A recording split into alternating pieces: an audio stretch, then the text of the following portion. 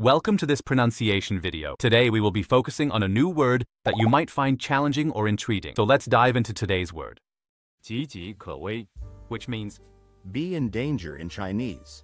let's say it all together. 岌岌可危，岌岌可危，岌岌可危， One more time. 岌岌可危，岌岌可危，岌岌可危。 Thank you for joining us on this adventure in pronunciation. Remember, language is a journey, not a destination. Keep exploring, experimenting, and expanding your linguistic horizons. We'll see you next time.